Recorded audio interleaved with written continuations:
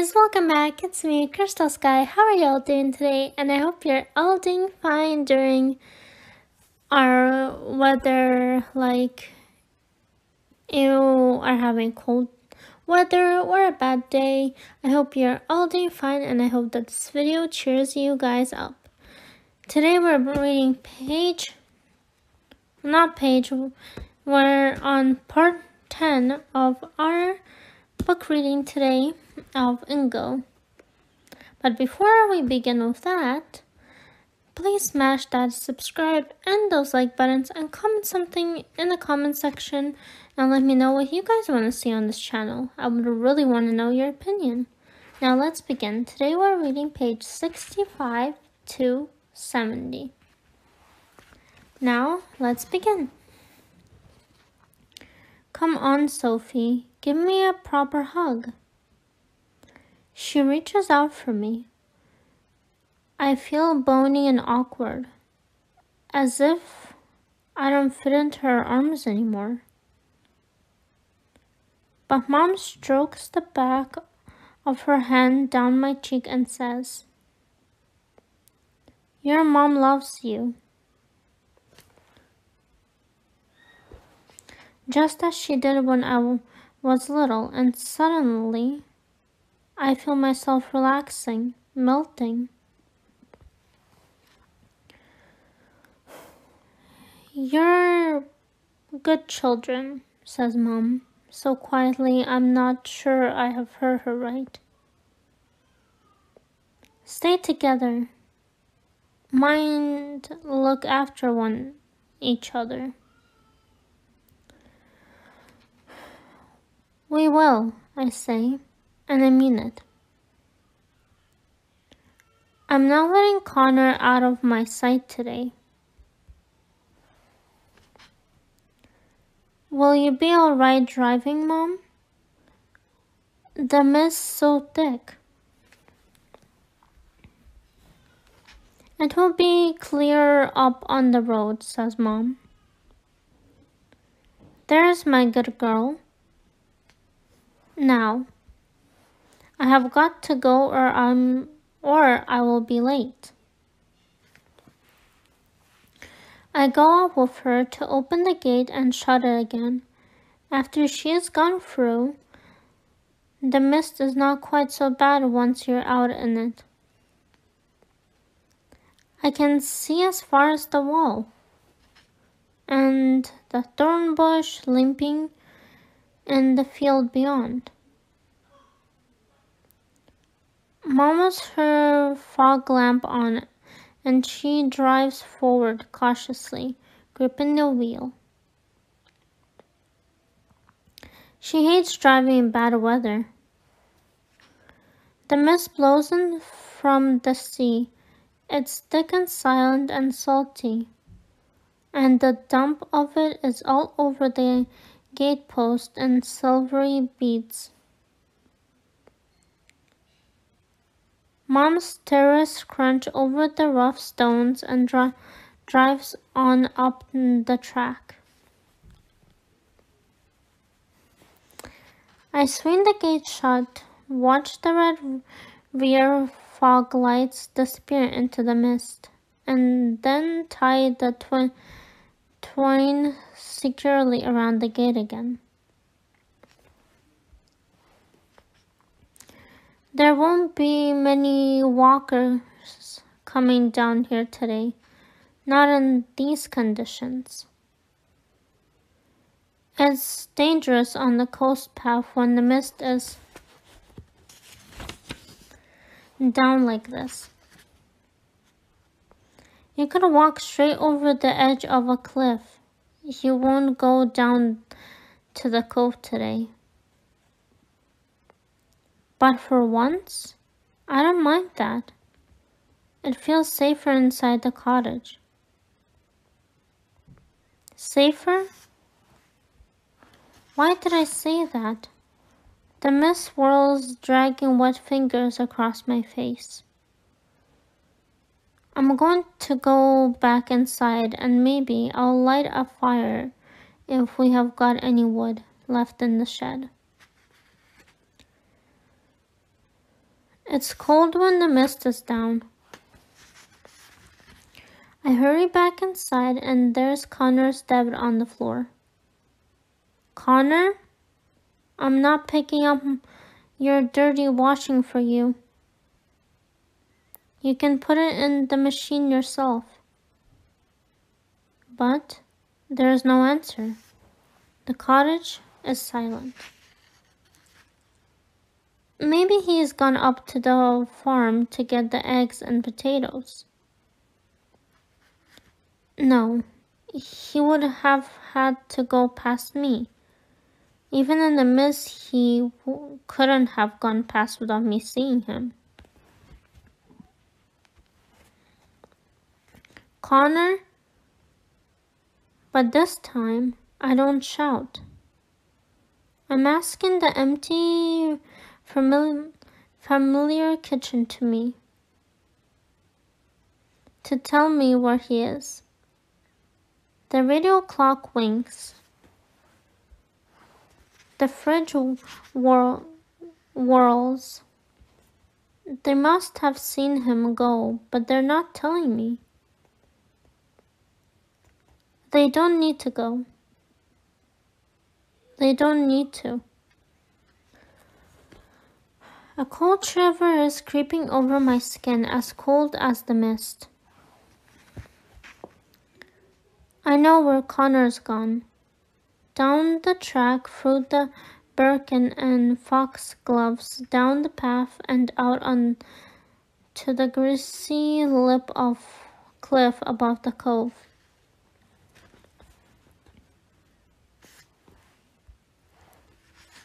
Everything wet and shiny with mist. The rocks hidden, the sea hidden. Down the rocks, between the boulders, on to the rocks, everything slippery and dangerous. The sea pulling like a magnet, pulling Connor as it's pulled me. What's the time? The tide will be going out. I remember how the sea swirled around my legs, urging me deeper and deeper. Connor, wait, wait, wait. Don't go without me. Wait, Connor, I'm coming. Chapter 6, you guys. Never go down to the cove alone. Are you listening to me, Sapphire? If Connor isn't with you, you don't go.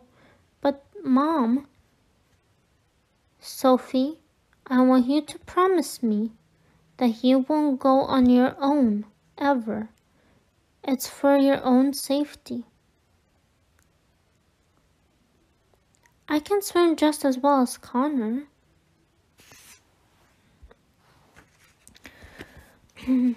I know. But you're such a daydreamer, Sapphy.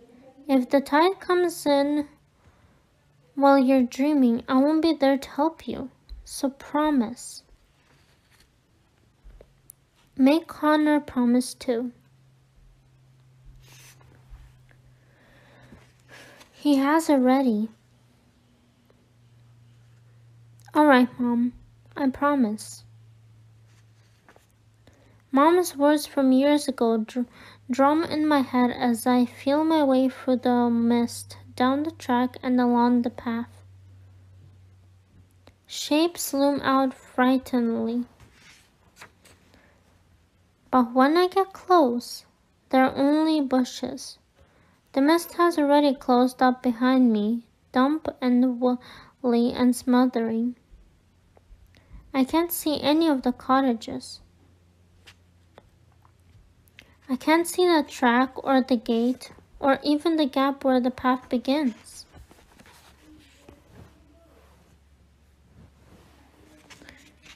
I trip and stumble and scramble up again, rubbing my grazed ankle. Grazed leg, sorry guys. Pebbles rattles under my feet. Wet Birkin slips my legs. I can hear the sea echoing and the mournful sound of the foghorn. Danger, danger, don't come here. But I have a, but I have got to carry on. This is the path to where Connor is. I must follow it. My heart le- my heart bumps so hard it feels as if it's up in my mouth. Take a deep breath, Sapphire. There is nothing to be scared of.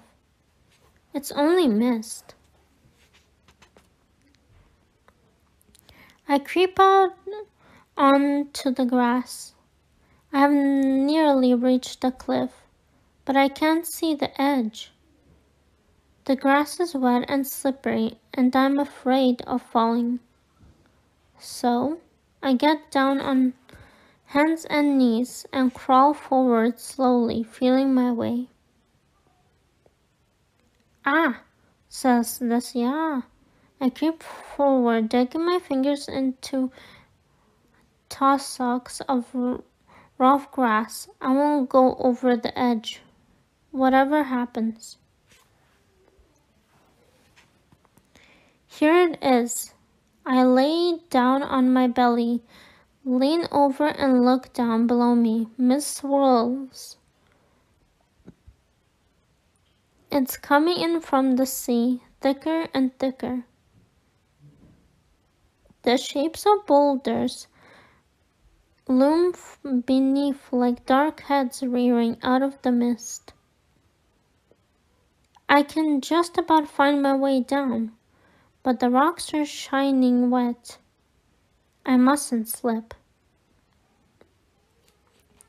I try to remember where the tide will be. It should be low tide just on the turn. I'm safe for now. I let myself down very carefully over the greasy lip of the cliff, scrambling for footholds. You have been down here hundreds of times. It's completely safe, but my heart bangs and sweat prickles under my arms. Climbing down through the mist is like trying to do your best handwriting with your fingers in thick gloves. My left foot breaches a foothold, finds it. I lower my weight gently. No, my foot slips on wet rock and I start to slide. I grab a clump of drifts and climb, cling on. My fingers want to hold on forever, but, but I won't let them. Don't be stupid, Sapphire. You won't fall. You can't stay here clinging. Hold on, guys. Oh, found it.